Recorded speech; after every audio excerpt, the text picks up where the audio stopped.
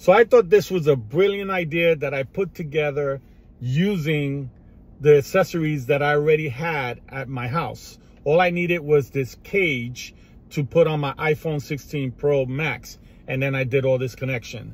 So instead of spending $160 for that SSD hard drive with the hub uh, that you connect to the phone, that they don't even give it great reviews, I decided the S the SanDisk SSD is a great SSD hard drive that I have. No problems. All I need is a connection to this. This hub only cost me five bucks and it's connected to the phone already. So I just connect my hard drive to this here. I just need a connection for the USB-A to USB-C.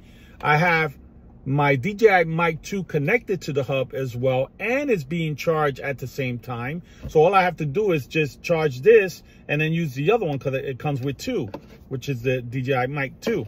Then I have an external hard drive as well that's powering up my phone and the DJI mic.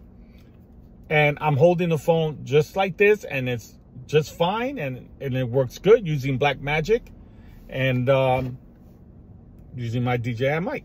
Thank you for watching.